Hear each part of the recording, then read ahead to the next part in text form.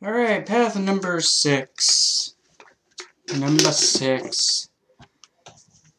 The number that everybody just can't go, aw, six. You get Tarot Illuminati. And don't you be going all freaking out like, oh my god, Illuminati. Uh.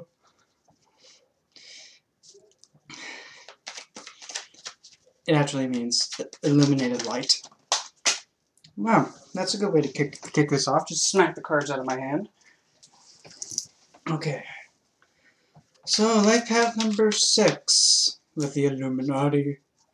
Oh, so creepy. Being illuminated. You're not going to get exposed. Calm down. And just like the other ones, whatever comes out, comes out. Okay, well, I we're to start with it because just throwing cards at me. Every every number gets the same reading of basic cross, and I call out what I see, don't like it, oh, up too bad. If it resonates with you, good. Woo, I'm magical and psychic. But, kicking off, we have the Five of Pentacles. Seems like your current position seems to be you being left out in the cold, or someone else being left out in the cold, and you're feeling like I have feelings too. But on the bright side of these, and this is why I like the Five Pentacles, despite being in that horrible environment, you have somebody with you that's sticking to it with you. So, right now it may not be the best of times, but there is someone, or there's a being, can be spiritual, that is at your side, standing by you through thick and thin. And I don't do zodiac sign based on whatever, because I don't. I want to be different. I don't want to be like everybody else. Uh, zodiac sign this. No. I'm an Aquarius moon and Aquarius rising with an Aquarius retrograde Saturn and an Aquarius Lilith. I do what I please, and I don't want to be like every other white sheep. Sorry. I'm not a white sheep. I'm a cotton candy rainbow sheep you're encountering or being challenged by temperance. So, your current position of being left down the cold, don't mind me doing this real quick, okay, there we go, is being challenged between two cups trying to find an emotional balance and emotional stability. Possibly the being that is helping you or you're standing by during this hot mess of, uh, oh no, what's going on? Is testing your patience and you're trying to find an equilibrium with your challenge with your with your challenging position. You're trying to keep your cool. You're trying not to go a table flip. But also you could be trying to mix what they're trying what they're thinking and their suggestions and their ideas because temperance being the card of Sagittarius is also known as the alchemist. Taking a little bit over here and taking a little bit over there smacking it together, and you get your own unique Pokemon, whatever the heck came out of that. It's always good. It's always good to have other viewpoints, but not to actually make it be what your decision is. Be your own individual. Be your own thought. Express your needs and wants. Don't let anybody say you can't do it because you have the right to. What's causing this hot mess of being out in the cold is the Six of Wands. Probably this is what I'm getting from this. The reason why possibly feeling out left out in the cold is because you're trying to share a victory.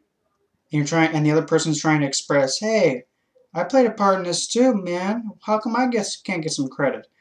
And you're probably in the moment of thinking, if I give him some of the credit, I'm not going to be the one being all, uh, notice me, senpai, please. Don't think like that. That's dumb. But, or possibly you both were celebrated and you had a very great victory, but now since the, you know, the Final Fantasy battle song track do, do, do, do, do, do, do, is not playing anymore, and now you gotta get back to back to reality and whatever you were doing. I mean, heck, Nothing wrong with being victorious and, you know, throwing, I don't know, throwing pom-poms in the air and having old man Saturn, you know, put on put on a cheerleader outfit and saying, good job, Good job, Timmy. Oh, now give me a sponge bath. Hey, there's nothing wrong with enjoying a victory if you want it, but you gotta understand just because you win something doesn't mean you have to keep in mind that you have a physical life to live. What's behind you, or what is backing you up, or what you have triumphed over, or have critically failed with, is... Oh, that's sweet. The Two of Cups. So you probably, with this Five of Pentacles, in the past, there must have been something very sweet that was said. And now both of you are going through this very troubling time right now, and having Temperance be there, you're probably working really well together, working as a unit, as instead of working as two, you're working as one, and I believe that is just gorgeous. Makes me tear up, actually, to even think about it like that. That's a joke. Come down. But, yeah, having that victory of possibly finally getting this person to finally be like, look, babe, give me a chance. You know you want to. Uh, fine. Have me. Probably that was your vic victory fanfare or whatever. But now things are starting to get on their mm, hard step because Five of Pentacles is being left out in the cold. Now possibly you or the other party, or maybe you both are feeling like this was not what I had in mind with the Two of Cups energy. I thought it was going to be nice, but it looks like we're out here, you know, about to kick the bucket because of the freezing cold. Or maybe you both were living in a place, just happy-doing, it, and then someone decided to be like, hey, guess what? Eviction notice. If that's the case, uh, you better double-check and make sure they're doing it legally. Because regardless if it's a private owner or a or done by a realtor, guess what? Tenant laws. They apply to every single one of you. Every single one has to abide by the tenant law. Doesn't matter. I don't care if it's Dick Cheney renting to you. I don't care if it's Mr. Trump renting to you. I don't care who it is. They have to follow the law of renting to a tenant, and they have to abide by it. They don't get they don't get any corner cuts. Is either they do it how they're supposed to, or they get in deep. So, just double check your housing situation if that's the case. And remember, there is. Oh, okay, we have a card. Go on. Yeah, this deck's been jumpy lately. But ultimately, no matter what, though, whenever in a legal situation, you have every right to, to nitpick. Nitpick the living heck out of them. If it's something in the contract that says they can't do it, nitpick it. Keep nitpicking it, saying, no, no, no, no, no, nitpick. Keep having them, keep pushing them in a corner where they have to admit they've made a big mistake, and now they have to pay the consequence of their stupidity. There's no nothing in the rulebook says you can't do it, so have at it. If anything, you're kind of, you know, helping them out by hitting them, hitting them upside the head with some logic. I mean, that's just my opinion what's above you or what's crowning you or what would you'd like to have happen is the King of Cups. So, what you're hoping for, or what's crowning you, is that you're wanting to have a a deep understanding, but also a practical and like a very devoted, committed, but also practical caretaking and understanding companionship with, with someone. Like connect to someone and understanding and be able to, no matter what happens, go to them with anything. Good, bad, don't matter. You Can go up to them and say, hey, I have a problem. There's something wrong that needs to be fixed. Or just being honest saying I'm not happy.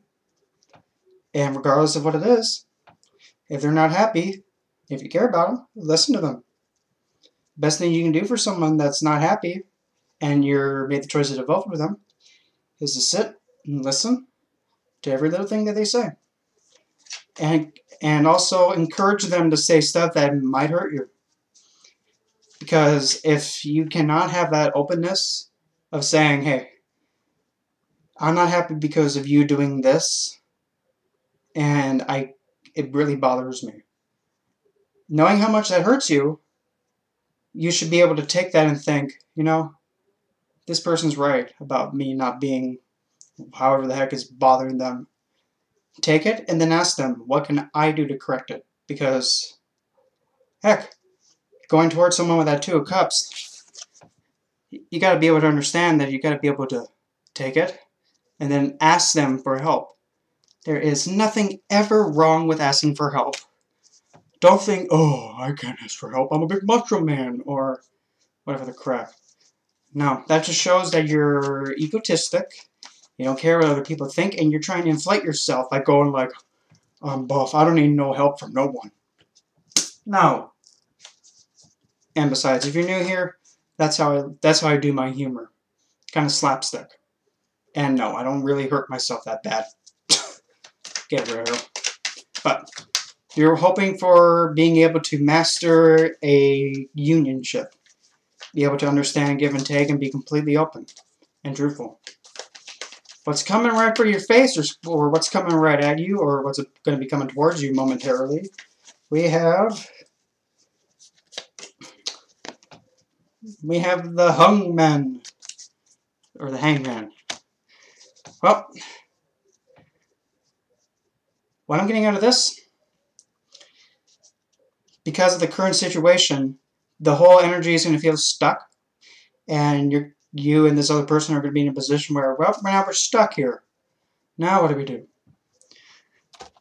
Well, with the hangman, you may notice that he's like, oh, I'm hanging upside down. Well, I'm going to make the most of it. You notice what he's doing with his leg, making an L shape? that's a sign to actually take a look at the situation you're in, make the most of it.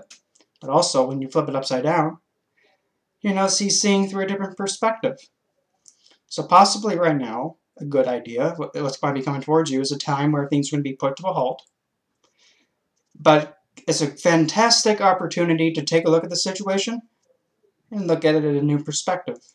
Get intrigued by it and have a light bulb go off and think, huh, I never could have thought about that but involve that person from the Two of Cups. Involve them. Involve them. Nothing's more... Nothing makes someone feel more valuable when someone goes, hey, there's something that I came across that involves both of us, and I want your help with it. Heck, if people do that modern, do that nowadays, be like, oh my gosh, wow, he's like, he's like the love guru, but you know, I'm not Mike Myers. how you're perceiving yourself or how you're viewing yourself in this current situation. We have that one. Come on, milkshake. You're seeing yourself the nine of nine of wands. Okay. You're seeing yourself as you're heavily guarded or you're heavily trying to protect something. Not every, not everything has to be overly protected and understand that you cannot once sometime something about you is going to get let, let out. It, it'll all come out eventually. So, best thing to do, just own it. Good, bad, don't matter. Say, yep, that's a part of me. Mm-hmm, that's true. What of it? And if you're able to go at it like that, with a sense of, I don't care. What, I made I made that mistake, so what? What about it? What's your point? What are you trying to get at? That's how you really do do the nine of wands protecting yourself. Not like trying to protect something that's concealed and shh, we can't about this because you'd be a hot mess. If there was a wrong that you did in the past that involves someone or involves this person with the Two of Cups or anything of that matter, accept it, acknowledge it, and admit that you learned the lesson and you'll do your best to not do it again. Easy peasy lemon squeezy, a two two two two two. Now, how outside influence is seeing you for you, I'm going to pull two. I'm going to pull for the person that's the Two of Cups, and also every, everything else. Okay. We'll have this one be that one.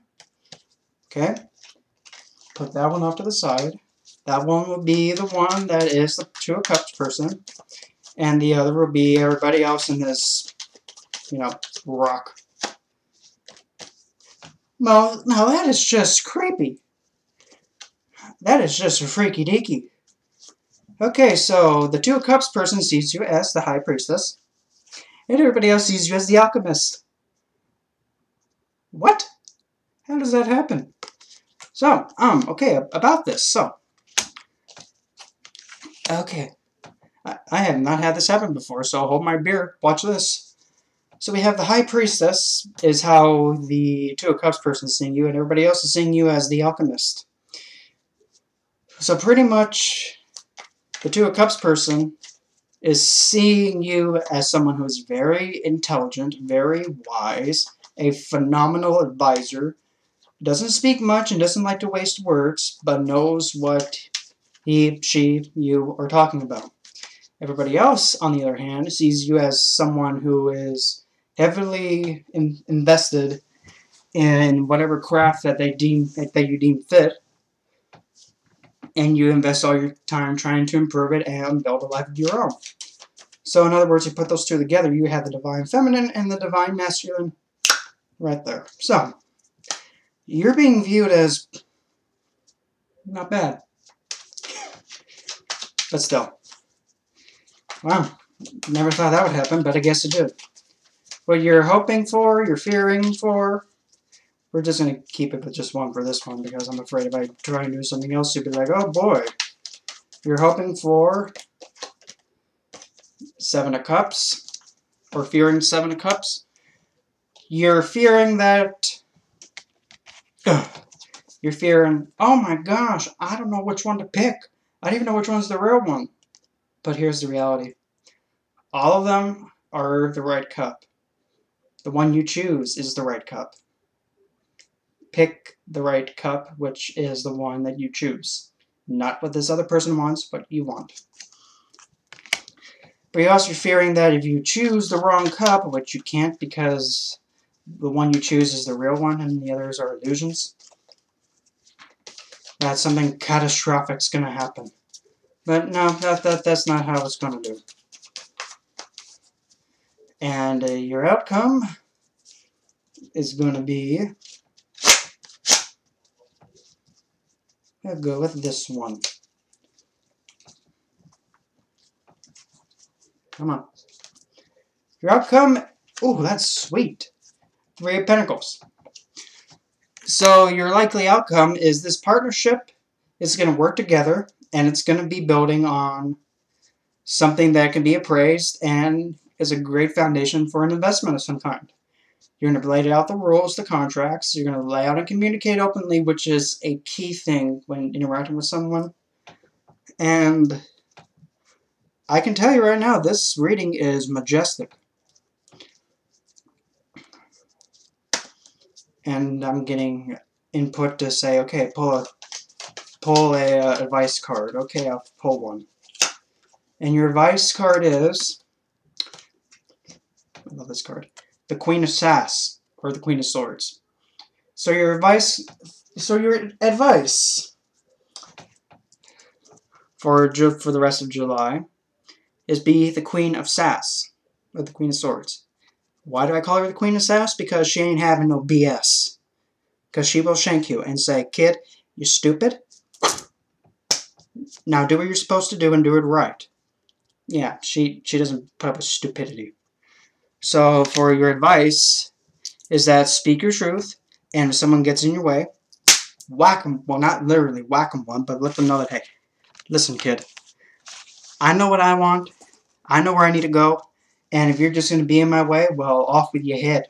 Because, yeah, if you can tell Shane got time for, for that stupidity. But other than that, July looks pretty good for you, number six. But then again, the number six is the number that everybody's like, oh, number six, I love number six. I mean, I do too, because it's actually my number reversed. Oh, there's your reading, number six. Hope you enjoyed it, and I'll see you guys here for number six for next month in a while.